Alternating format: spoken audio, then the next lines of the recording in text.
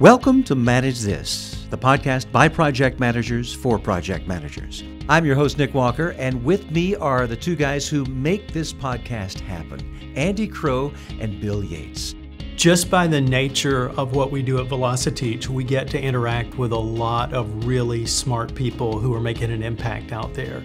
My name is Andy Crowe. I'm the CEO and founder of Velociteach, and I'm one of the hosts on the Manage This podcast.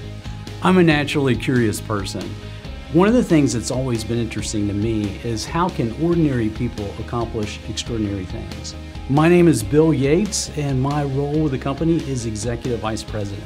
The goal of the Manage This podcast is to encourage and challenge.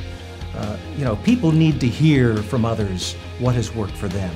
I'm Nick Walker, and I am the host of the Manage This podcast. In the Manage This podcast, we like to have guests who can bring in new knowledge and new skills to our audience. I'm Wendy Grounds, and I'm the podcast producer for Manage This. The hosts and collaborators of this podcast are people just like you. That's why we have the tagline by project managers for project managers. Hi, I'm Jordan Demers, and I'm the media arts designer here at Velociteach, and I edit and record the podcast. How many times do you get to interact with a project manager who's done a multi billion dollar project? And then you start seeing they run into some of the same obstacles and same difficulties that you do on a very small project. Those project managers are they're men and women just like us, right? These are ordinary people that have accomplished extraordinary things. So let's learn from them. Let's ask them the questions that we all want to hear.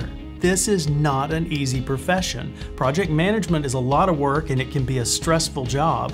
And so, if we have the ability to connect with people on their way to work, on their way home, and to help relieve any of that stress, that's a great thing.